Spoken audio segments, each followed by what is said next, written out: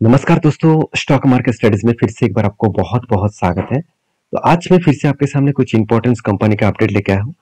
और इस वीडियो में आपको सारी जानकारी मिलेगा कंपनीज़ के बारे में। उसके साथ साथ आपको टेक्निकली चार्ट पैटर्न के भी जानकारी मिलेगा। जिस टेक्निकली चार्ट पैटर्न को आप सीख कर, आप स्विंग ट्रेडिंग कर सकते हैं। तो मेरे वीडियो हमेशा एडुकेशन पर्पज में होता है। आप सभी जानते ही है।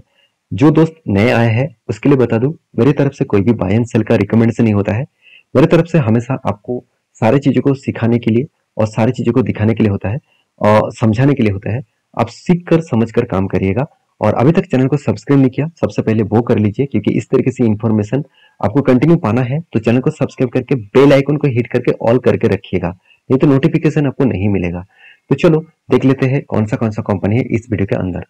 फ़र्स्ट जो कंपनी है, मेरे सबसे पसंदीदा कंपनी है, वो है बीएससी लिमिटेड देखिए बीएससी आप सभी जानते हैं, एक एक्सचेंज है और इंडिया के नहीं वर्ल्ड के सबसे पुराना एक्सचेंज है और वर्ल्ड के टॉप टेन रैंकिंग में इस इस एक्सचेंज का नाम देखने को मिलेगा। तो बीएससी लिमिटेड का काम क्या है? मान के चलिए आप किसी भी कंपनी को, आपका अगर मान के चलिए कोई कंपनी है, उस कंपनी का आपको स्टॉक मार्केट में लिस्टिंग कराना है। अगर आपका कंपनी का मार्केट साइज़ बहुत छोटा है तो उसको आप एनएससी में लिस्टिंग नहीं करा पाएँगे। तो उसके लिए आपको बीएससी बीएससी के ऊपर ही जाना पड़ेगा। तो जो कंपनी स्टॉक मार्केट में बीएससी में लिस्टिंग होता है अगर उसमें कोई ट्रेड बनता है तो वो ट्रेड का एक कमीशन डायरेक्टली बीएससी को देना पड़ता है।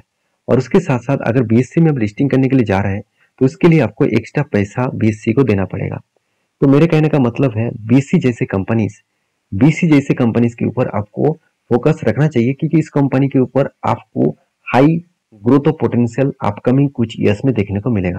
क्योंकि मैं पहले भी एक डेटा आपके साथ शेयर किया हूँ कि इंडिया में अभी भी ढाई परसेंट लोग डायरेक्टली मार्केट में निवेश करते हैं। मतलब डायरेक्टली इक्विटी में ढाई परसेंट लोग काम करते हैं, जहाँ पे यूएस में 55 परसेंट लोग डायरेक्टली मार्केट में निवेश करते हैं। तो दोनों में फ़र्क देखिए कितना बड़ा फ़र्क है। अगर इस पॉइंट को भी मैं हटा दूँ तो अगर 25 परसेंट भी इंडिया में निवेश करना स्टार्ट कर दिया डायरेक्टली मार्केट में तो सोचिए आज बीएससी को जो आप सत्रह हज़ार करोड़ के आसपास मार्केट कब देख रहे हैं, वो एक लाख सत्रह हज़ार करोड़ के ऊपर आपको दिखेगा। देखिए क्या होगा ना होगा वो तो आपको फ्यूचर में दिखेगा। अभी से आपको ये देखना है कि कंपनी का फ्यूचर में इस कंपनी का ग्रोथ कितना हो सकते हैं। तो देखिए कंपनी का जो परफॉर्मेंस है, वो ठीक ठाक ही है। कंपनी का इंडस्ट्रीज़ पी रेशियो से कंपनी का पी रेशियो थोड़ा सा हाई है और कंपनी का आर ओ सी आर तो एवरेज लेवल के आसपास है। इनकम भी कंपनी कर रहा है, कर्जा कंपनी का ज़ीरो है प्रोमोटर के पास होल्डिंग्स भी ज़ीरो है। अगर यही चीज़ को मैं क्वार्टरली रिज़ल्ट के हिसाब से बात करूँ तो दो चीज़ आपको देखना पड़ेगा। तो दो चीज़ क्या है? कंपनीज़ के ऊपर आपको एक चीज़ देखने को मिलेगा कि कंपनी का ईयर ऑफ़ ईयर बेसिस में सेल्स ग्रोथ कितना है? 34 परसेंट के आसपास इसका सेल्स ग्रोथ देखने को मिला। जो पहले कितना था? 14 परसेंट के आसपास था, वो बढ़ के हो चुके 34 परसेंट और उसी तरीके से अगर एम्प्लॉय की जो कॉस्ट है, वो देखेंगे तो कंपनी की जो एम्प्लॉय कॉस्ट है 23 परसेंट से बढ़ के हो चुके 19 परसेंट तो इसका मतलब कंपनी के एम्प्लॉय कॉस्ट भी बढ़ा, और उसके साथ साथ कंपनी का year of year basis sale growth भी बढ़ा। तो सारे पॉइंट्स कंपनी के फ्लेवर में है। सॉरी एम्प्लॉय कॉस्ट कम हुआ और कंपनी का सेल्स ग्रोथ बढ़ा। तो ये दोनों पॉइंट कंपनी के फ्लेवर में है। दोनों पॉइंट कंपनी को ये बता रहे हैं कि अपकमिंग टाइम्स में इसका ग्रोथ होने का हाई पोटेंशियल है। तो कंपनी की जो बैलेंस शीट है, उसके बारे में बात करें तो कंपनी के देखिए रिज़र्व लगातार बढ़ते चले गए। और कंपनी के पास एक रुपया भी कर्जा नहीं है। और कंपनी का नेट फिक्स एसेट भी बढ़ता चला गया। और उस हिसाब से कंपनी का C W I C W I P भी कंपनी को दो करोड़ के आसपास देखने को मिला। अभी कंपनी के एज ए रिस्यूज के बारे में बात करूँ तो कैश कन्वर्जन जो साइकिल्स है कैश कन्वर्जन साइकिल्स के बारे में बात करूँ तो 36 के आसपास 36 रुपीस के आसपास आपको कैश कन्वर्जन साइकिल्स दिखेगा। अभी यही चीज़ को मैं आपके साथ और डिटेल्स में बात करूँ तो एज ए इन्वेस्टर तो यहाँ पे आपको नहीं दिखेगा तो मैं आपको यहाँ पे दिखा देता हूँ। देखिए प्रोमोटर के पास तो कोई होल्डिंग्स नहीं है और म्यूचुअल फंड ने क्या किया कंटिन्यूसली इसका सेल अप किया। और बाकी होल्डिंग किसने उठाया?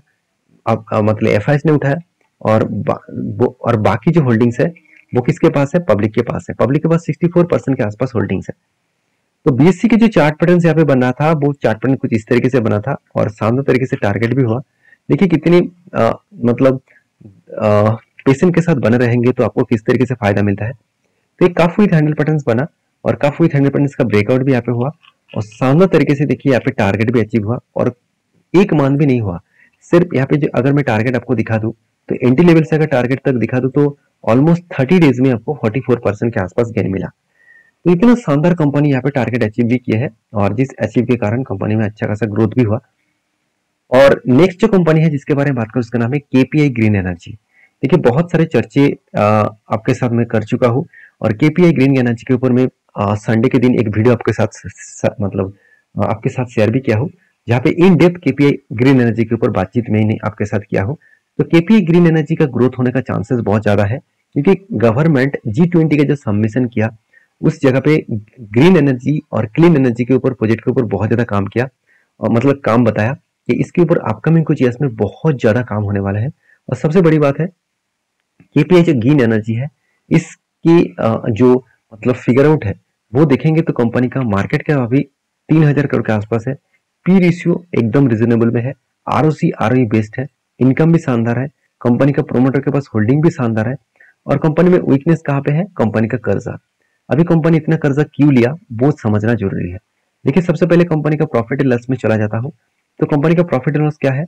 इस बार कंपनी का प्रॉफिट एंड लॉस दो एक करोड़ के आसपास हो चुके हैं। चलो मान ही लेता हूँ कंपनी का 110 करोड़ के आसपास प्रॉफिट एंड लॉस है क्योंकि ये जो प्रॉफिट है वो 2000 आ, मतलब 2024 खत्म होने के बाद ही आपको देखना चाहिए। तो अभी देखिए कंपनी के जो सेल्स का ग्रोथ है, वो भी बढ़ रहा है। कंपनी का प्रॉफिट ग्रोथ भी लगातार बढ़ते जा रहे हैं और एक बेस्ट लेवल में देखने को मिला है। रिटर्न भी कंपनी धमाका दिया और आरओसी भी बेस्ट है। तो अभी जो कर्जा लिया, वो कर्जा किस लिए लिया गया? अब ध्यान से इस चीज़ को देखना। कंपनी जो कर्जा लिया, वो कर्जा लिया एक्चुअली कंपनी का लॉन्ग टर्म का कर्जा है। इसका मतलब कंपनी का जो प्रोजेक्ट मिला कंपनी का जो बिज़नेस मिला और अपकमिंग ईयर्स में जो बिज़नेस मिलने वाला है तो उस बिज़नेस को कंप्लीट करने के लिए कंपनी के पास पैसे का ज़रूरत है। तो उतना तो पैसा कंपनी के हाथ में नहीं है। कंपनी का प्रॉफिट कितना है? करीबन 100 करोड़ 110 करोड़। और इसलिए कंपनी का जो प्रोजेक्ट मिला, उस प्रोजेक्ट को कंप्लीट करने के लिए कंपनी को कर्जा उठाना पड़ा। तो इसलिए कंपनी लॉन्ग टर्म के लिए कर्जा उठाया। अभी कंपनी का प्रोजेक्ट कितना मिला, वो भी तो देख लीजिए। कंपनी का ट्रेड रिसीव हुआ कितना? 147 करोड़। तो 147 करोड़ का प्रोजेक्ट के लिए कंपनी को पैसे की ज़रूरत है। तो इसलिए कंपनी कर्जा उठाया। और दूसरी बात, कंपनी का जो मतलब ट्रेड पेबल कंपनी को जो पैसा देना बाकी है जिससे वो उधारी लिया, उसका पैसा कितना देना बाकी है? 227 करोड़ के आसपास। तो इस सारे कारण के वजह से कंपनी के ऊपर एक अच्छा खासा पैसा उठाया गया। तो एज ए इन्वेस्टर इन्वेस्टर के बारे में बात करूँ तो पोमोटार एफ़ पब्लिक हर किसी के पास इस कंपनी का हिस्सेदारी आपको देखने को मिलेगा। और रही बात कंपनी के जो केपीआई ग्रीन एनर्जी के ऊपर जो चार्ट मतलब एज ए इन्वेस्टर है, जहाँ पे देखिए एफएस के पास सॉरी डीएस के पास कोई भी होल्डिंग्स नहीं है। एफ़ के पास धमाका होल्डिंग है। जो पहले ज़ीरो के आसपास था, आज वो बढ़ के हो चुके चार परसेंट के आसपास। और सबसे बड़ी बात क्या है, कंपनी के ऊपर देखिए, कंपनी का होल्डिंग्स 54 परसेंट है और 50 परसेंट के आसपास कंपनी का होल्डिंग को प्लेजिंग करके रखा। ये दोनों पॉइंट कंपनी के लिए मुझे बहुत नेगेटिव लगा। पहली बात, कंपनी कर्जा ज़्यादा है बोरिंग ज़्यादा है। दूसरी बात, होल्डिंग को वो गिरवी रख चुके हैं। मतलब जितने गिरवी रखेंगे, उतना ही कंपनी के लिए प्रेशर बनेगा। चाहे कंपनी बिज़नेस सही ना कर पाए तो उसका जो शेयर गिरवी है, उस शेयर को उसको बेचना पड़ेगा। मतलब उसको दे देना पड़ेगा, जिससे वो उधार लिए है। तो ये पॉइंट्स मेरे लिए मेरे हिसाब से नेगेटिव है। तो इसलिए मैं केपीआई ग्रीन एनर्जी के ऊपर छोटे मोटे क्वांटिटी के साथ होल्ड कर रहा हूँ और जब जब इस सारे परफॉर्मेंस अच्छा दिखेगा, तब मैं क्वांटिटी ऐड करता रहूँगा। और जब जब स्विंग ट्रेडिंग बना तो मैं आपके साथ शेयर भी कर चुका हूँ। तो फ़िलहाल के लिए कोई स्विंग ट्रेडिंग नहीं बना है, क्योंकि कंपनी एक टॉप लेवल में है। अगर इस चीज़ को मैं मार्किंग करूँ तो कंपनी के ऊपर एक ही रेंज के ऊपर बहुत दिनों से ट्रेड हो रहा है। तो इस रेंज को याद रखिएगा, इस रेंज को अगर ब्रेकआउट करे, इस रेंज को अगर ब्रेकआउट करे तो एक बड़ा धमाका हो सकते हैं। तो इसके लिए आपको इंतज़ार ज़रूर करना पड़ेगा। तो नेक्स्ट जो कंपनी जिसके बारे में बात करूँ, उसका नाम है टाटा मोटर्स देखिए टाटा ग्रुप के ऑटो सेक्टर में जो कंपनीज़ है टाटा मोटर्स एक कंपनी अलग लेवल में खुद को रिप्रेजेंट कर रहा है और कंपनी ये भी बता रहा है कि 2025 खत्म होने से पहले 2025 खत्म होने से पहले उसका जो डेप्थ इतना ज़्यादा आपको डेप्थ दिख रहा है, वो एकदम ना के बराबर डेप्थ दिखेगा। मतलब डेप फ्री कंपनी बनकर दिखाएगा। इतने बड़े कमिटमेंट टाटा मोटर्स ने कर चुके हैं। अभी होगा क्या नहीं होगा, वो तो आपको दो साल के बाद ही देखने को मिलेगा। फ़िलहाल के लिए कंपनी का जो परफॉर्मेंस है, मैं एक चीज़ कहूँ कि कंपनी में दम है मैनेजमेंट में दम है, क्योंकि जो कंपनी बड़ा से बड़ा लॉस करते चले आए थे वो कंपनी का लॉस आज कम हो चुके हैं। अभी इस बात को भी आप याद रखना कि कंपनी का लॉस कम हुआ है तो कहाँ से कम किया, वो देखना ज़रूरी है। क्या सही में कंपनी का सेल्स बहुत ज़्यादा हो गया? अगर मैं इसको क्वार्टरली रिज़ल्ट के बारे में बात करूँ तो देखिए सेल्स में ऑब्वियसली इंक्रीजिंग देखने को मिला। सेवेंटी थाउज़ेंड करोड़ से कंपनी का सेल्स बढ़ के हो चुके एक लाख दो हज़ार करोड़ के आसपास। तो सेल में ऑलमोस्ट थर्टी थाउज़ेंड करोड़ के आसपास सेल्स इंक्रीज हुआ और कंपनी एक्सपेंस को भी कंट्रोल किए और देखिए ऑपरेटिंग प्रॉफिट मार्जिन जो 2400 करोड़ था, वो बढ़ के हो चुके तेरह हज़ार करोड़। इसका मतलब कंपनी यहाँ पे तो धमाका किया है। और सबसे मज़ेदार बात क्या है, आप जानते हैं कंपनी इतने दिनों तक तो लॉस कर, करके आ रहे थे। इस बार कंपनी कंटिन्यूसली लास्ट कुछ फ्यू क्वार्टर्स में कंटिन्यूसली कंपनी प्रॉफिट किया। और क्वेश्चन मार्क्स ये आते हैं कि कंपनी ने इतना कर्जा कम कहाँ से किया, जहाँ पे कंपनी के सिक्स परसेंट के आसपास डेप्थ ऑफ़ इक्विटी था, वो घट के हो चुके तीन परसेंट के आसपास। तो तीन परसेंट कंपनी कर्जे को कहा से रिड्यूस किया? वो मैं आपको बता दूँ तो आप बैलेंस शीट में जाएँगे तो आपको सब कुछ क्लियर हो जाएगा। पहले देखिए कंपनी का रिज़र्व कितना था? 64,000 करोड़ 55,000 करोड़ 78,000 करोड़ तो कंपनी ने क्या किया? रिज़र्व को थोड़ा सा यहाँ पे बेच दिया। कंपनी की जो रिज़र्व है उस रिज़र्व को थोड़ा सा बेचा कर्जे को मिटाने के लिए। इसलिए कंपनी को कर्जे को रिपेमेंट कर पाए। और रिपेमेंट करने के बाद कंपनी के हाथ में फिक्स एसेट भी लगातार बढ़ते चले गए। और कंपनी प्रोजेक्ट के ऊपर अच्छा खासा पैसा भी लगा के रखे हैं। तो ऐसे क्या कैश कन्वर्जन साइकिल्स के बारे में बात करें तो कंपनी के ऊपर कैश कन्वर्जन साइकिल्स नेगेटिव में देखने को मिला है।